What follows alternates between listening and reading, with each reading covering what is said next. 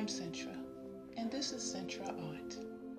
The series of The Fool's Journey, Episode 2. Do you know who you are? As creation did flow, appeared the one who does know, tis the high priestess of eternal truth. And as she lift the veil, pomegranates fell, for our fool now knew just what to do. The high priestess. Tis the time for creation and passionate inventions, as the Empress of Fertility is here. And with enthusiastic energy and a mindset of synergy, an abundant harvest is certainly near. The Empress.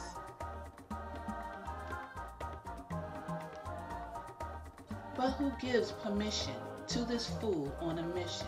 Tis the Emperor of mental strength holding balance in his hand, the ultimate man with a plan. Honors the journey's authenticity, not length. The Emperor.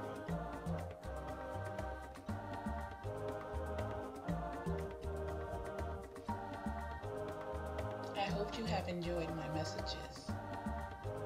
See you soon.